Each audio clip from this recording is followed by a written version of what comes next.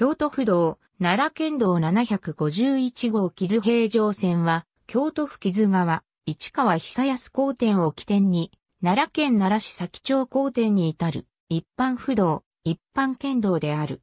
大和国、山城の国の国境を越える古道、歌姫街道を踏襲した道路である。人心の乱では、大見朝廷軍が飛鳥を攻めるために、歌姫街道を通ったと言われている。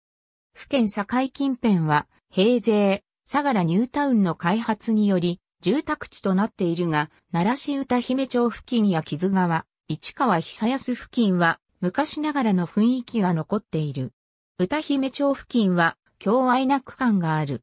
しかし平勢、相良ニュータウンから奈良市街への抜け道として利用されているため、通勤時間帯などは交通量が多い。離合が困難なため、不慣れなドライバーが原因で長時間動けなくなることも珍しくはない。通行する際は注意が必要である。また、本数こそ少ないが、本区間の一部を路線バスが走る。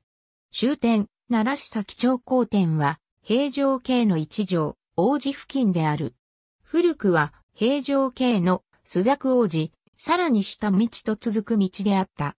現在は、奈良市崎町高点から南へ1.5車線ではあるが、奈良市道が続いており、奈良県道1号奈良生駒線や国道308号へ出ることが可能であるが、時間帯によっては渋滞することがある。以前は、起点が木津川市相良清水に指定されていた。